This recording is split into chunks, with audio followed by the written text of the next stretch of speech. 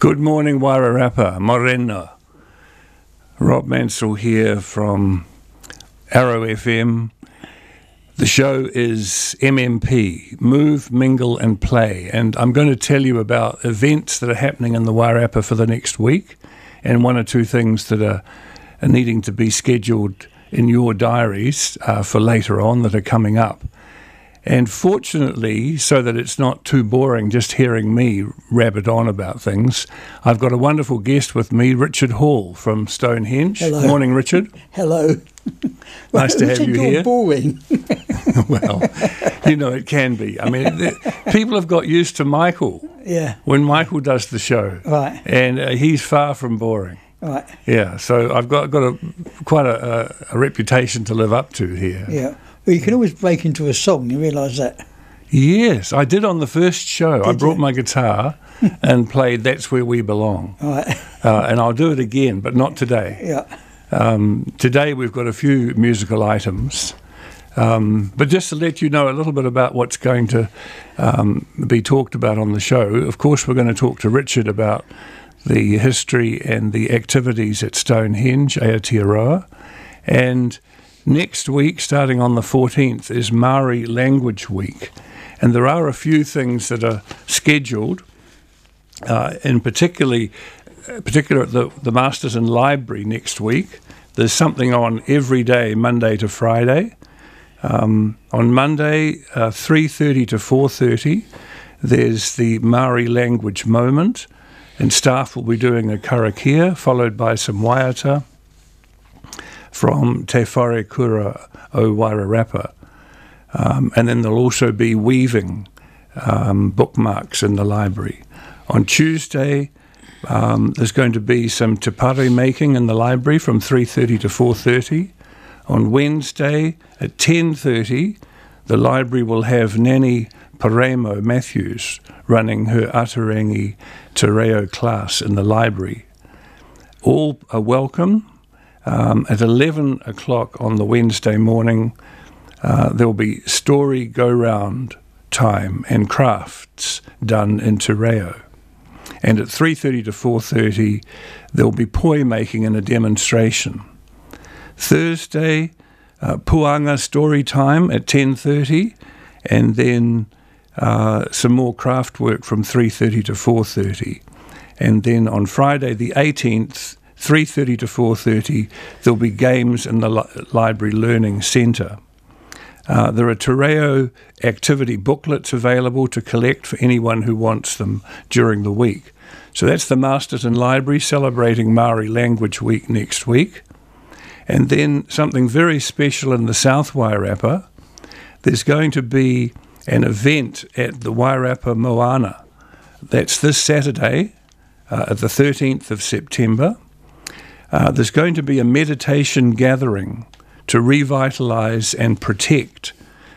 The intention is to revitalise and work on the protection of the Wairarapa Moana, uh, which is the, the lake uh, in the south of the Wairarapa.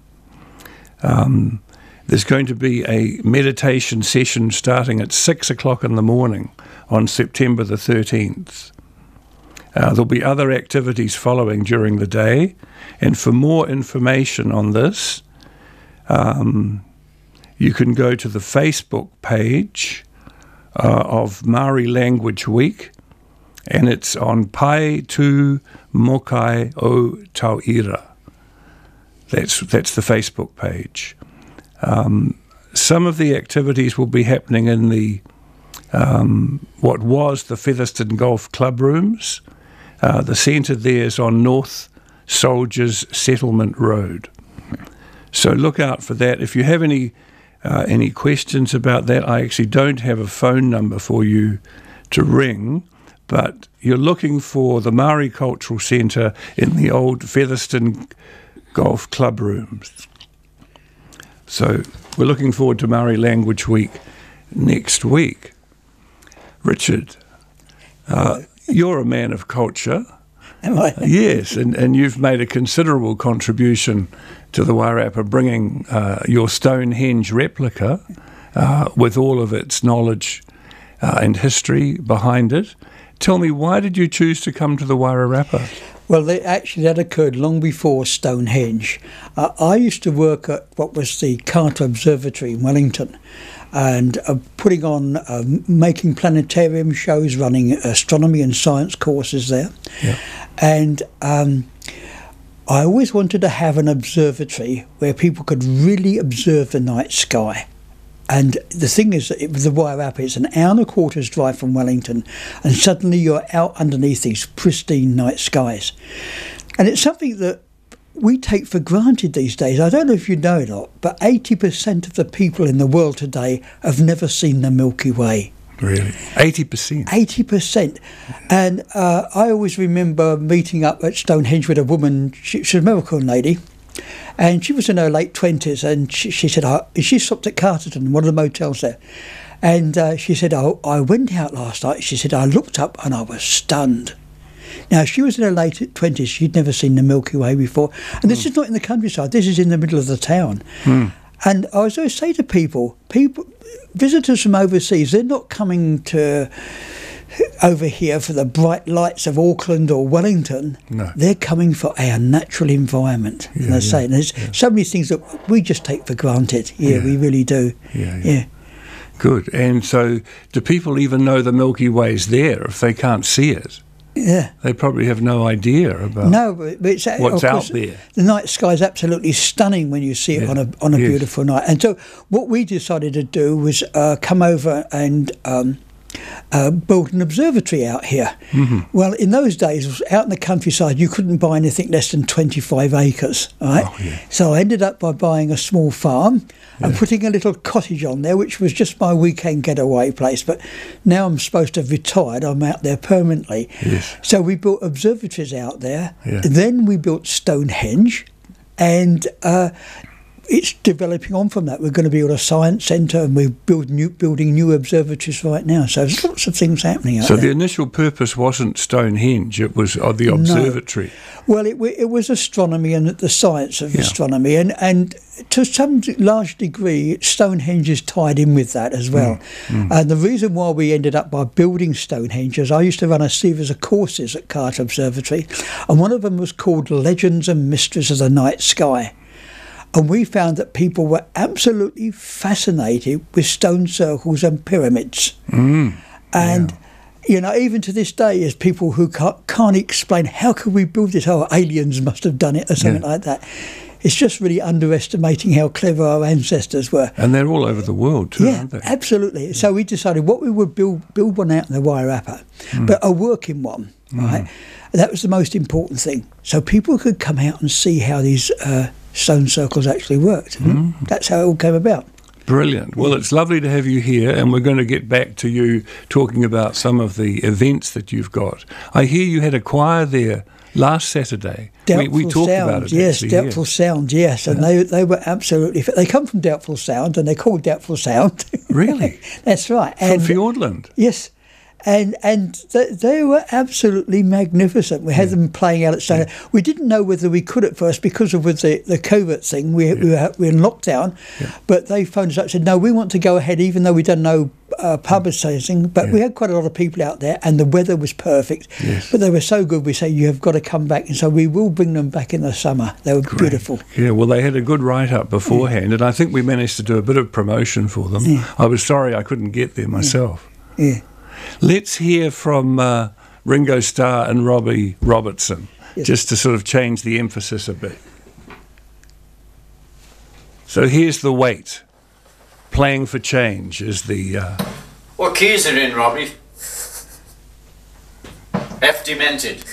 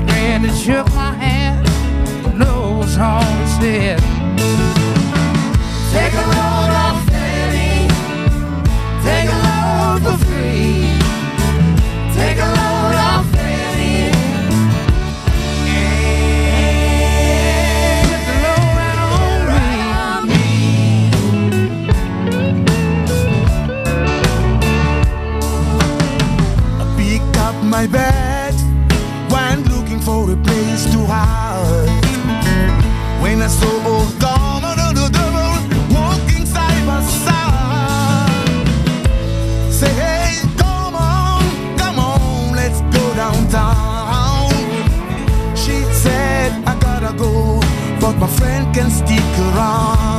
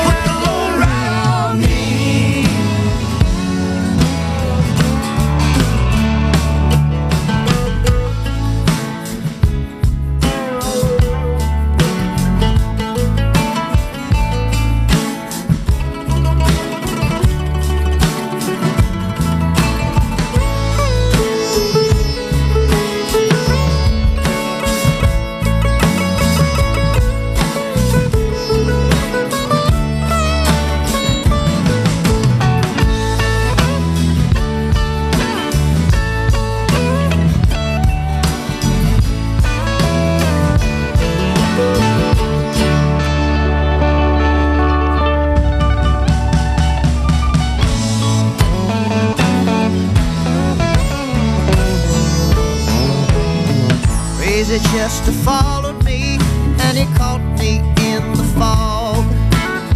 He said, I will fix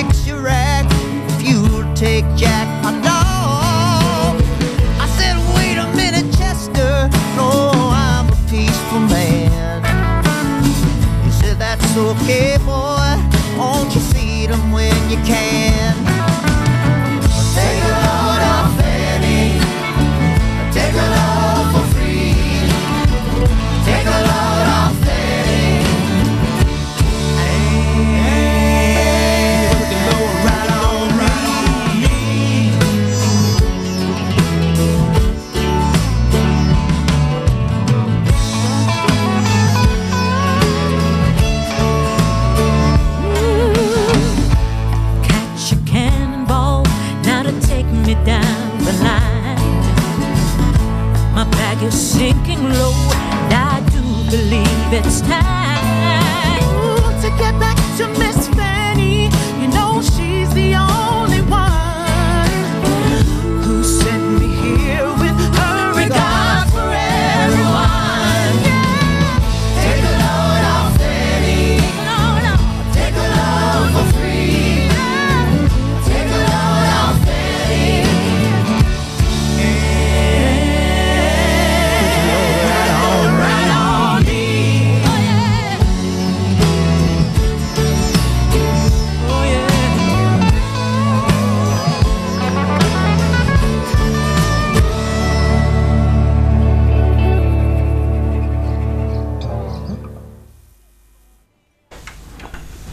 Hello again.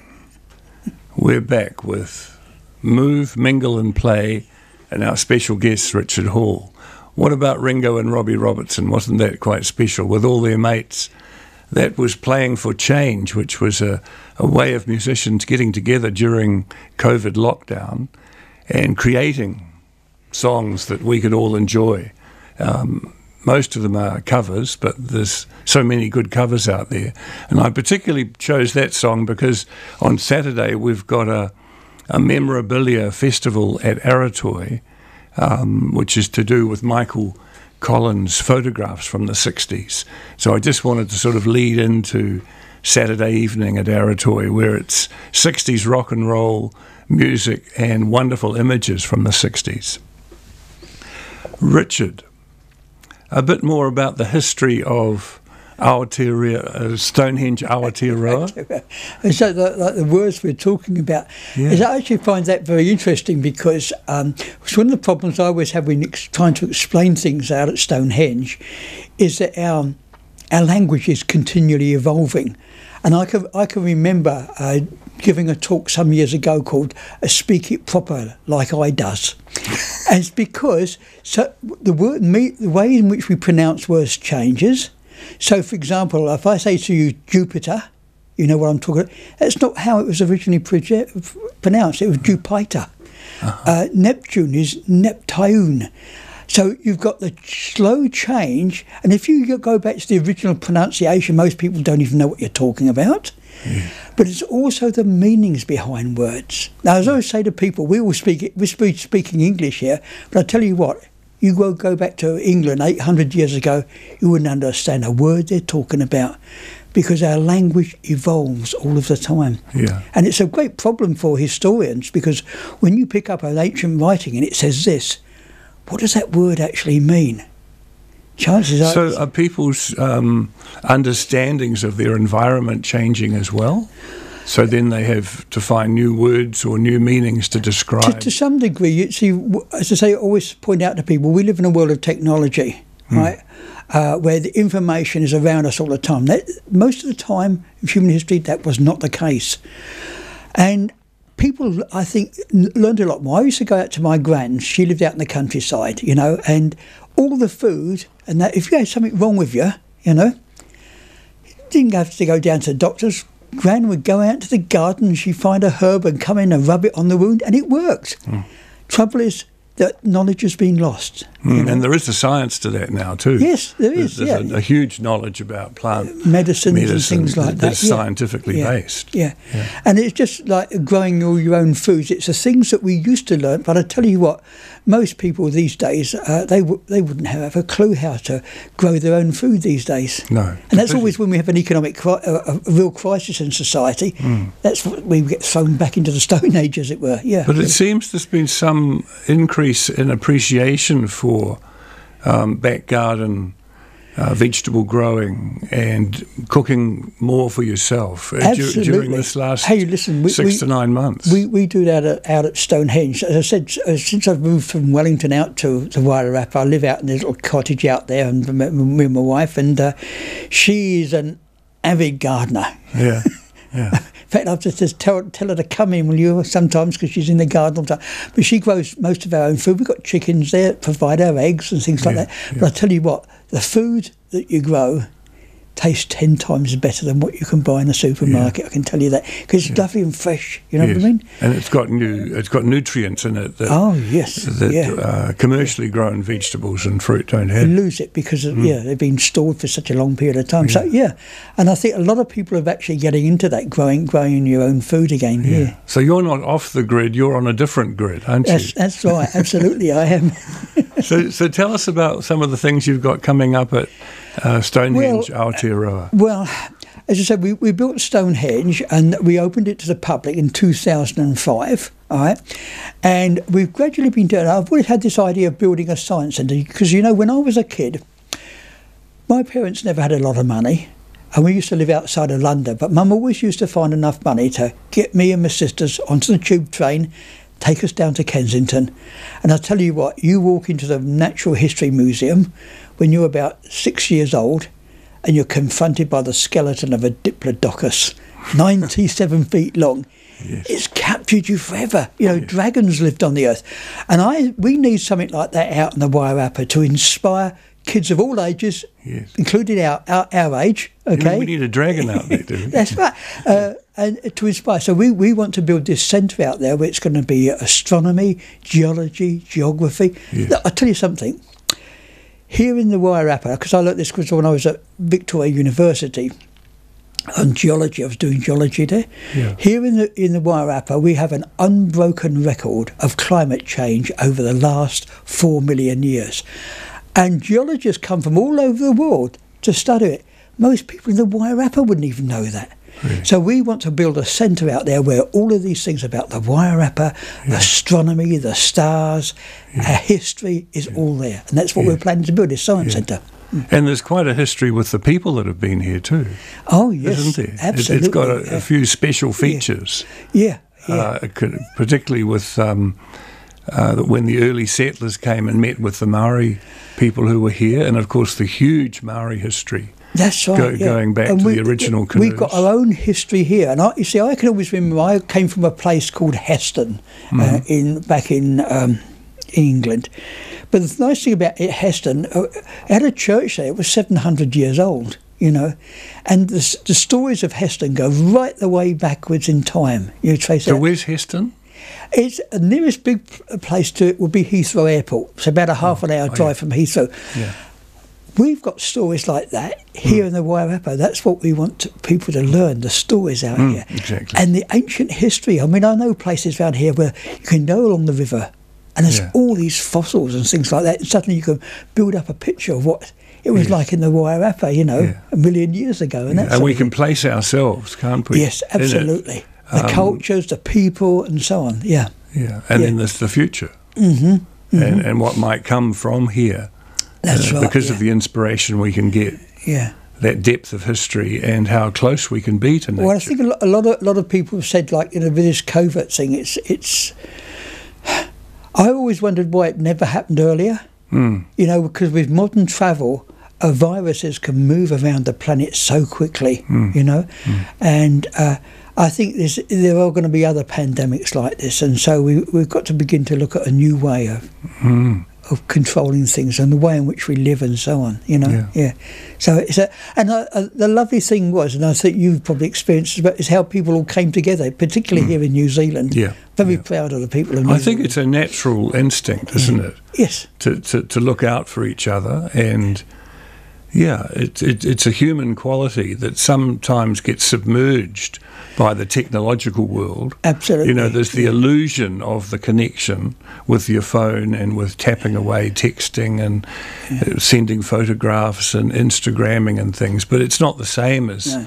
as walking down a, a, No. a country road and, And I- popping in to see your and neighbour. I tell you what, living in the countryside is something special as well. I mean, all my neighbours are some distance away from me, Hmm. but I know them. And if you want a hand, they'll come round and give you a hand. Hmm. I walk through Carterton. And people are saying hello to you all the time, you Hmm. know. I mean, you can live in a town and not know the people who live next door to you. You know what I mean? So, Hmm. Yeah, yeah. yes, I do like the the rural, you might call the rural atmosphere here and the people here. Yeah. and the whole of the Wairarapa has that quality, doesn't it? There's no Mm. absolutely. really big towns. I mean, Masterton almost qualifies, but Um, look, it, it refuses to grow, doesn't I'm going to advertise somebody else. Um, down in Carterton, we've got a, a place called Regent 58. Ah, yes. And uh, The brewery. it's the brewery, yeah. And you walk along the high street in Carterton, and you wouldn't even know there's an alleyway, right? Yeah. And you go down there, and when you go round the back, as you said, it's a brewery. But it's much like going into an English pub. They're all locals there. yes, yeah, yeah, yeah. Even to the point the barmaid's pouring your drink before you even get to her Yes, because she knows what you're going to have and so on. And I, I normally go down on a Thursday night, some on a Saturday night also. Yeah. They have. Uh, uh, have uh, they've got music coming up this Saturday? I think Stefan's on this Saturday or something Yes? like that. Oh, well, yeah. yeah. Mm. But so, yeah, and it's it's got a lovely atmosphere. Yes. It's not just a a drinking bar; it's a place where people meet. Yeah, And, and it's got a particular flavour to the beer too, I absolutely. yeah, well, it's a Wairarapa flavour, isn't Mm. it? Yes. Richard, let's just quickly go over what's coming up at Stonehenge Okay, well, in the next couple of well, weeks. don't forget we what we've now started. We've teamed up with two other people who developing the astronomy at Stonehenge. So every weekend, every Friday and Saturday evening, we have stargazing out at Stonehenge, looking through big telescopes and so on. Mm. Yeah. We also have courses on astrophotography. There's a course starting this Saturday. Mm. You can see find all these things on our webpage, and of course we've got big events like the equinox coming up. So we've got the spring equinoxes coming up on the 23rd, but we're going to be doing a special day on the 20th of September out at Stonehenge. Yeah. All the druids are going to be coming out there. So I'm going to be doing a presentation on the stories of the equinox, what it was all about. Mm-hmm. The, the Druids are going to do a ceremo- ancient Celtic ceremony out there, Yes. and then after that, there's going to be food and wine. Yeah, and so the on. Druids aren't scary people, are they? No, No? no, They're, they're not kind of spooky weirdos. no. They do not. dress up a bit, though, don't they? Oh yes, they Yeah. do. Uh, I think look very much the same as Maori are saying, who were we before the Europeans turned up? Right. Hmm. There's a lot of English people are saying, well, who were we before the Romans turned up? And what they're going back is the old Celtic traditions and so on, right? Mm-hmm, yeah. And I, I quite like the Druids because it's actually because I'm a bit of a greenie myself, and that's it. It's all about looking after Mother Earth. That's what it's all about. Yeah. Sure. Good. Oh, that's fantastic.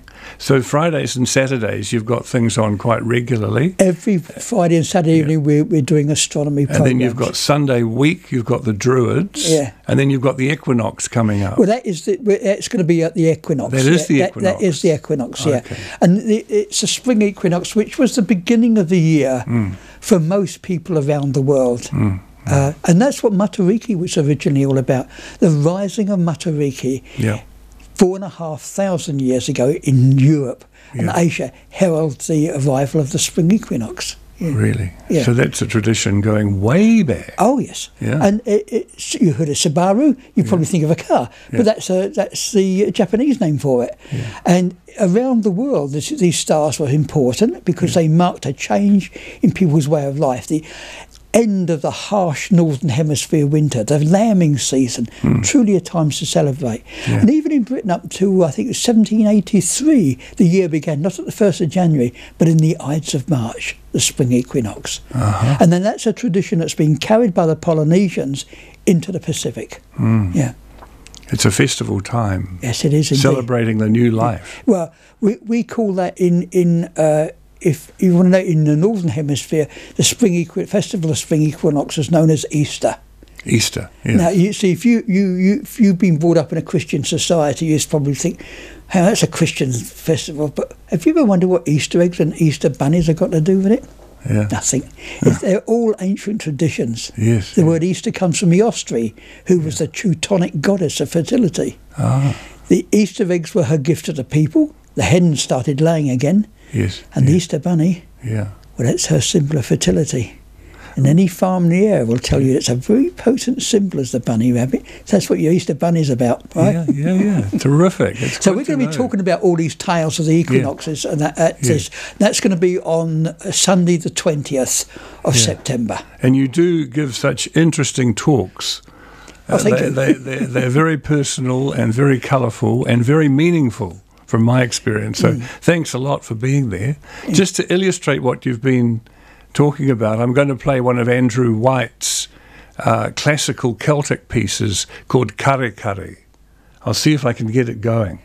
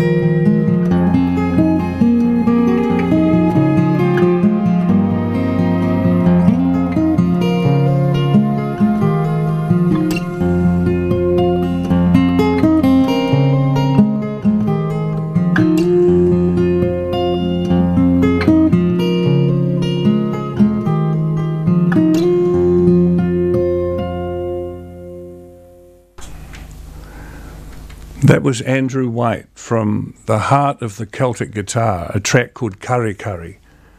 Richard, we were just talking there about um, the wonderful influence that music has on all of us.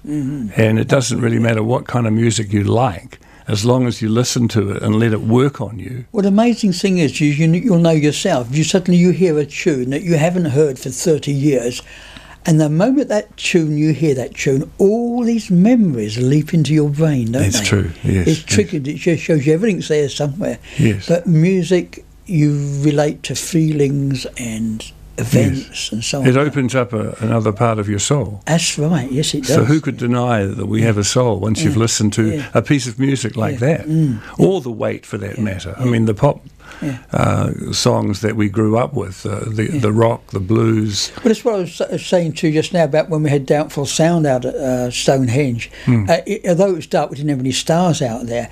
Just laying down on the grass on a blanket, listening to these sounds because the stone circle's got very powerful acoustic properties. Hmm. And I say, but some of the gospel music they were doing was absolutely awesome. It just you just carried you away. Yeah, Mm-hmm. yeah. So just on the on the theme of live music, I'd like to put in a little bit of a personal plug. On Friday, which is tomorrow, at Don Luciano, Stefan Brown is playing with his trio of um, uh, old time uh, musical friends, Vic and Vaughan, and playing blues from five till seven o'clock, five dollar cover charge, and that's every fortnight now at Don Luciano's. We have had a, a struggle uh, with venues for live music in, in the Wairarapa. It sort of comes and goes. And I know you're a great supporter of having live music at Stonehenge. Yes, and we- that's fantastic. Yes, I am. we but the really only problem appreciate we've got that. out there at the moment, we don't have a bar out there. No bar.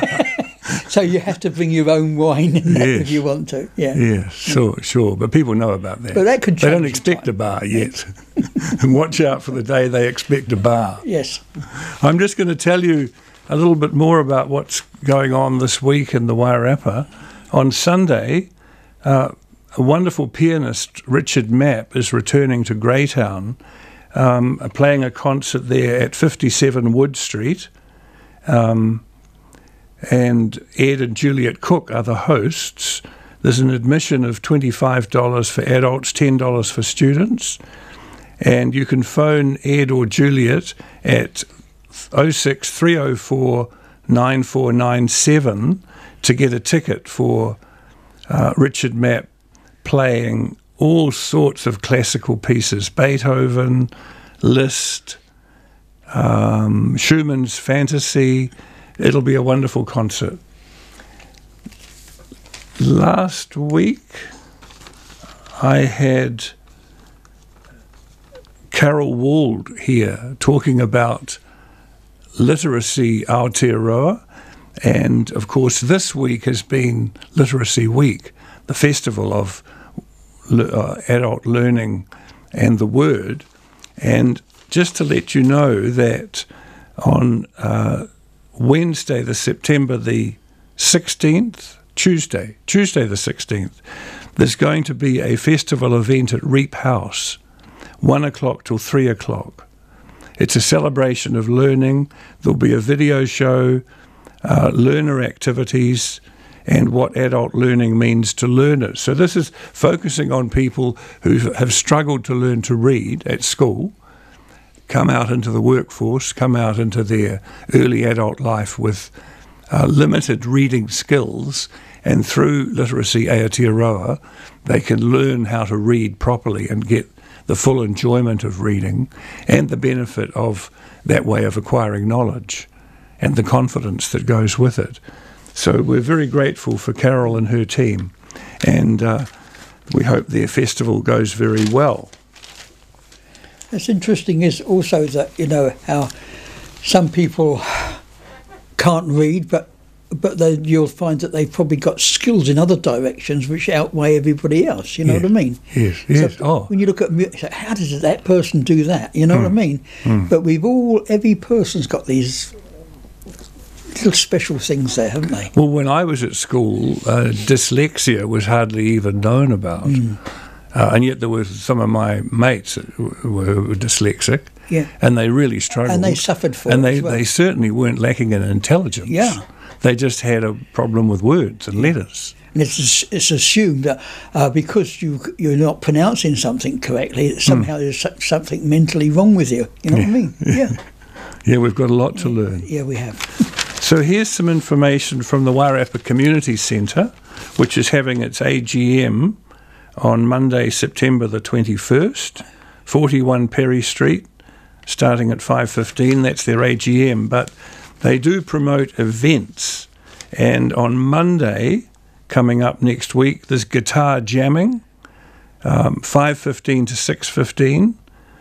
Um, that's on the 14th. And Donna Lang is the person organising that. 0800 080 717. Then there is a Star Jam musical.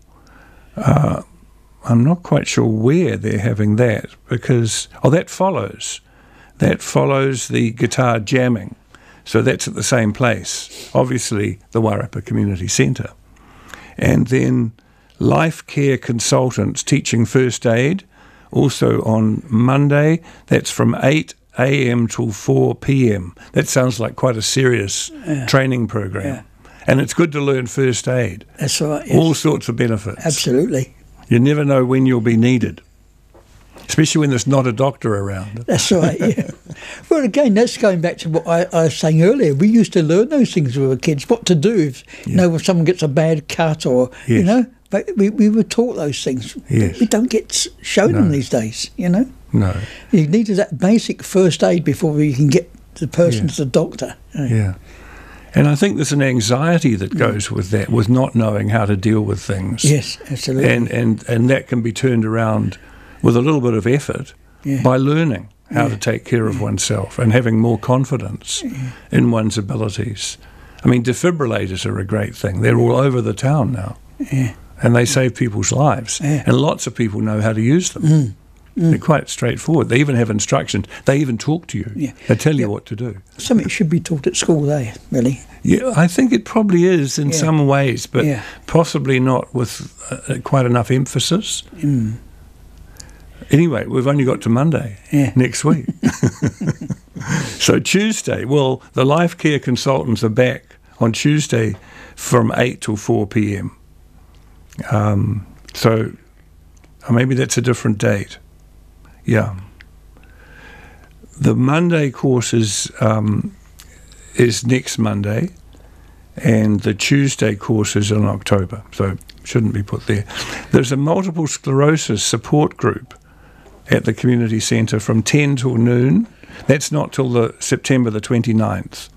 So I'm looking at um, this list of events, and it does say September events. So it's not chronological, unfortunately. Let's see. Next Wednesday, and this is happening next Wednesday, there's a mindfulness workshop, but that will be the second week of the mindfulness workshop run by Philippa Mills. Very worthwhile doing. Um, one learns a lot about oneself, and one definitely learns strategies for rethinking your natural or instinctive reaction to difficult situations. So, mindfulness is about taking another step with your thinking so you can deal with your emotional reactions to things and not be overwhelmed by them. Um, also, next Wednesday, there's the Heart Help Peer Support Group talking about defibrillators. Um, there's a session from 1.30 to 2.30 at the Community Arts Centre, at the Wairapa Community Centre. Um, Heart Help Peer Support. Then on Thursday, free cooking classes. Richard, mm-hmm. that's up your alley. Four week No, course. No, no, no, no, no. I like someone to cook for me. Oh, you just like to grow the food. Yes. Yeah, or select it. Do you get a choice, or is Kay just cook what she wants to? And No, well, we, we do we do. Whoever is in there at the time will cook, cook the tea or whatever. you know, yeah. yeah. Excellent. That's that's great. And then uh, there are one or two other things on, but just to mention that on Saturday, September the nineteenth, the Green Fingers Gardening Group uh, from 1 to 3 on September the 19th. And Bev Jack's organising that. So if you want to learn a little bit about growing herbs, growing vegetables, uh, growing wonderful plants to decorate your garden, um, Bev Jack at 377 1022. So we've had enough words for a while. Let's play some more music, shall we? Let me see how we're doing for time. I think we've got time for a little bit of Blerta. And I've chosen this song because we um, have a wonderful history of performance music in New Zealand. And some of the originators of that, in the, going back to the 60s, which is not originating really, it's just taking advantage of, um, of what's possible. But here we have done. We want you to see the world and see all the beauty that surrounds you. Who came knocking little girl in a long white gown. Who came running to answer the door? A little man with a worried frown. Dance all around the world, all around the world with me. Dance with the birds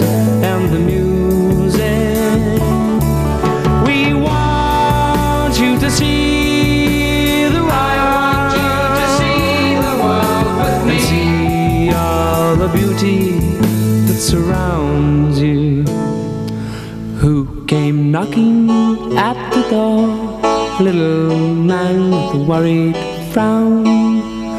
Who came running to answer the door? A dragon and a man dressed up as a clown. Dance all around the world, all around the world with the birds and the music. We want you to see the world. I want you to see the world with me. See all the beauty that surrounds you. And so they danced until they came to a beautiful castle on a lonely hill. There lived a prince with his two wise tutors and two guards. Come, dance around the world with us, said the man in brown. But no, cried the tutors, for a prince must learn of law and justice. But a prince should also know the sound of the wind in the trees and the song of the crickets, said the man in brown. He must stay, they said, and learn of government and diplomacy. But surely a tutor, a teacher, should know the secrets of the moon and the feel of a mountain stream on his feet. But we must guard him, said the guards. Surely even a guard should know the feel of the wind on his face and the surge of life in his hands. And so the guards threw down their weapons, and the tutors put aside their books and gowns, and they threw open the castle gates and danced out into the fields.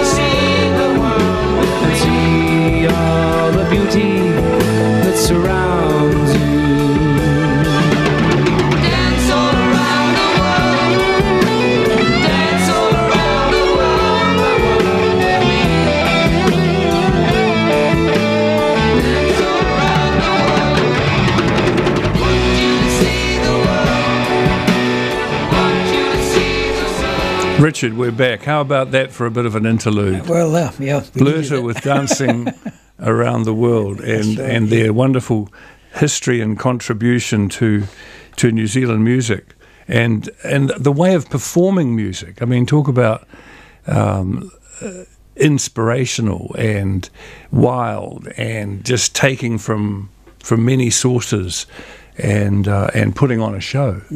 Yeah. Well, I always say that some of the best evenings I've always had is, is going to little shows put on by local musicians. Yeah. A, because the mu- music's always unique because it's special to that particular group of people. You might hear some that's a, a rendition of this particular song or that, but it's also all the people that you meet and so on. So it's a It's a community event, isn't it? It is a community event, yeah, and that's Yeah. what I love about it. Yeah, Yeah, yeah. Well, we've got a few venues in the Wairarapa. The Tin Hut's still going strong. We're, we're playing there on the third Friday of the month, and we do other shows occasionally. Don Luciano's just um, getting going, and we've heard that Coco's in the Queen Elizabeth Park, which used to be the Lakeside Cafe when Keith uh, and Gail ran it, now it's Coco's, and they're keen to have live music back. good, good. And of course, we're in the spring, so things are warming up. Yeah, Yeah. And people have parties and invite bands to come and play. yeah. Um, yeah, once it, I, I'd always like to hear about them beforehand Well, and we- get an invitation. Well, we will be, we will we do want to develop live music out at Stonehenge because, as you know, uh, one of the things about a stone circle is is the acoustics out there are brilliant, and Yes, uh, and people keep on asking when are you going to have another musical event out there. Yeah. So we're certainly going to see if we can get some of these things organised. well, we'll see what we can do for the Yeah. equinox, although I'll be away that weekend, but possibly Keith could come and do But something. we've, we've got other Yeah. days coming up. yeah. Yeah, of course. Yep. Yeah, yeah. And it's been great to have you here, Richard. No problem. And, and uh, I know you do your own radio show, and I'm Yes. sure you've got some avid followers. you do realise I had to get out of bed very early to get here. I know, and I really, really appreciate that. And apparently, the traffic was pretty intense getting yes, into town. I, I think other people have noticed. They've noticed State Highway two, because it seems to be getting busier and busier. Yes, you're trying yes. to you're trying to come, uh, get into, in from an intersection. Yeah. There's endless. well, it's all these commuters, Is that what it is? and they aren't all coming into Masterton. no. I think there's over 2,000 people a day who commute to Wellington. Is that right? Yeah, from the Wairarapa. I say is that right? I mean, I used to do that at one stage. Yeah, you know. yeah. Yeah. It amazes me that people have got the stamina to maintain that. hey, a couple more things that are coming up. One of them is actually today. It's the opening of the Payne Farm Homestead, which is owned by the Southern District Council. It's on Lake Ferry Road in Martinborough. And from two o'clock until quarter to three, they're open. Uh, and in fact, the, there are things happening from two o'clock through till about five. So Payne Farm, 248 Lake Ferry Road, um, pop down there. It's a rare event to uh, be able to look through the Payne Farm homestead, which has been refurbished, built in the 1920s, and nestled in among farmland and mature trees, just a short drive from Martinborough. So, I want to get to a very special event to tell you about, and that is um, a Wairarapa men's support group uh, that meets. It meets every month, and it's called um, the Why Dads. I think it's an emphasis on on dads getting together, and the youngest uh, young men who can be with them are 14. So it's 14 years older and above, and men getting together. And on Saturday the 19th, which is going to compete with some of the other things going on, um, at the Tararua Forest Park in Carterton, uh, the men are getting together for an overnight in the wilderness uh, from four o'clock. To be to go to that one, you have to be over 18 and probably accompanied. And this is um, uh, organised by Jonas Kulka and his team of um, merry fathers, sharing stories around the campfire with an open and diverse group of local men, 18 and older, who feel the need to connect with self, group, mountains, river, night silence in the forest. Happy to have 14 year olds and older if they're accompanied by a father, grandfather, or caregiver. We meet every third Saturday of the month during the afternoon, walk about 20 minutes from our cars to the campsite, build our tents if needed, make a fire, have a current fire permit, share our stories, kai, maybe some music, experiences, swim in the river if it's warm enough, sleep under the stars. So do think about uh, including yourself in that experience, I can highly recommend it, knowing Jonas and some of his male friends who organise these things, and they really look after people. It's a very interesting time, and things happen at events like that. Um, the Martinborough Community Choir, that's worth a mention. They meet in um, in Martinborough once a week. I think they might be having a bit of a recess at the moment because of COVID, but um, it is listed that they're on Tuesday, seven fifteen to nine o'clock, are run by Vic Jones. So that's well worth looking into. If you like singing, you don't have to be a great singer. You don't have to read music to join in with the uh, Wairapa, com- the Martinborough Community Choir. Richard, we're getting to the end of our information. I've always got lots. Well, to, to something tell else that I should mention to you is Yeah. that I, I've actually been involved for quite a while in the Wairapa in the Dark Sky Society Yeah. that's been set up to turn, which is in the process of turning the Wairapa into the big, biggest dark Oh, yeah. sky reserve in the world. Which is going to bring an enormous amount for the Wairarapa. And uh, good news is that uh, it's gone through all the councils, getting 100% support from councils and so on. Hmm. So this looks like it's all going ahead, which will be brilliant. And what's uh, what's the process from here? Do you need public uh, uh, support? Well, there's a whole series. well, first of all, it's it's could have been. It's not not having lighting. It's having the correct type of lighting. All right. I always say that when it's a cloudy night, and from Stonehenge I look over towards uh, Masterton, and I can see all the clouds lit up by uh, the lights of Masterton. Why are the why are the local ratepayers paying for that? You see, what they found in America, if you put special lighting in so the light goes downwards, you can cut your wattage in half. So you still get the good lighting, but it's half the cost. And so it's bringing in rules and regulations on what type of lighting is put in and so on. Yeah. And once that's done, then an international it goes before an international board and so on. I see. But we, uh, what I'm saying is, we're on the road to that. We're getting full support from councils and so on. So everybody should be thinking about the quality of the light that they're using in Oh, their, It's- it- in it- their what we, we call it light pollution. Yeah, Yeah, that's why yeah. I said eighty percent of people don't see the the Yeah. stars from Yeah. most places of the world, and we've got this beautiful environment out here. We Yeah. need to keep it that way. Yeah, Well, keep us posted on that, won't you? we'll do. Yeah. Yeah. So when's your next show, your radio show? Well, uh, I, I do it on a uh, a Tuesday. Yeah. I think we're now moving to a fortnightly one, so I've got an idea. It's next Tuesday. You're Yeah. gonna have to put up with me again. And that's a podcast. So if people miss the actual show, they- they can yeah, they can yeah, download it yeah. later. And also got Hattie Tina, who's our uh, lead astronomer out there. She she com- comes on that as well. All right. And you're talking technical stuff. No, it's all basic stuff. Actually, know, we do, no, but one of the things we've always tried to do at Stonehenge is keep science at a level the ordinary person can understand. You'll remember this when you were at university, right? You could go along to some some uh, lectures and uh, struggle to understand what they were talking about. But there were other lecturers who you sat there and you looked forward to the lectures because they spoke at a level you could understand. Yes, So yes, I try to avoid l- using highly technical words, as it Yes, were. yes, yes. Which um, unfortunately, some people in the science community they tend to do that. You know what I mean? Yeah, yeah, yeah, sure. And I know So- exactly. The, there are people who are clever and there are people who are good communicators. Absolutely. And think about their audience. Yes. And what can be absorbed. We've got uh, Warwick Murray coming to talk to us uh, in the next couple of weeks on this show. Mm. And he's an associate professor of geography.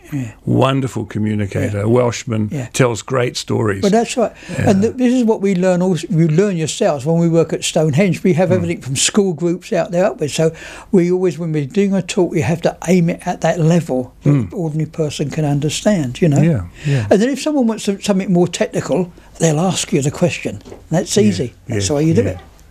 Richard, thank you very much for coming. Very welcome. Yeah, we've had fun, I think, and hopefully we've been able to share some of our interests and, and your passion. Yes. Yeah. And uh, and well, we that's how I met you, wasn't it? Through music. it was. Yes, it yeah, was. Yes. yeah. Yes. And, and and having played at Stonehenge a few times, Yeah. I love it. Good. So bye everyone for We'll this week, and we'll see you and talk to you again in a week's time.